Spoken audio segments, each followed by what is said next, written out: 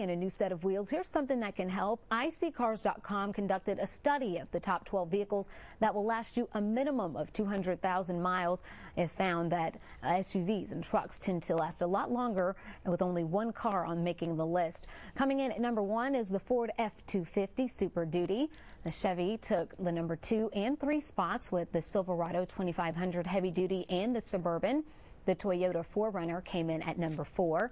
Ford made the list again with the Expedition coming in at number five. The GMC Sierra 2500 heavy duty ranked in at six. Chevy Tahoe at seven with the similar GMC Yukon XL at number eight and Toyota Sequoia came in at number nine with the GMC Sierra and Yukon at 10 and 11 and the lone car on the list was the Honda Accord coming in at number 12.